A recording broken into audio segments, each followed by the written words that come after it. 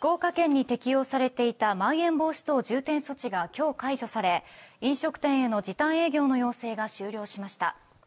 一方県は感染の再拡大を防ぐため今日からの1ヶ月間飲食店に滞在するのは2時間以内とし4人以内で1つのテーブルを利用するなどの対策に協力を求めています。市民の受け止めです。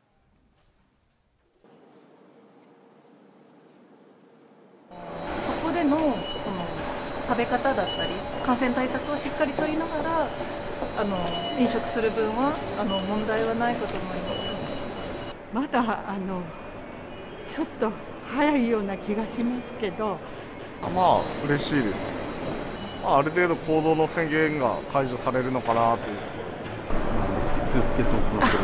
という。えっと、娘の事件でちょっと早いかなっていうのは思いますけど。お祝いしますね そうですね。やるしたいなっていうのはありますけど。はい、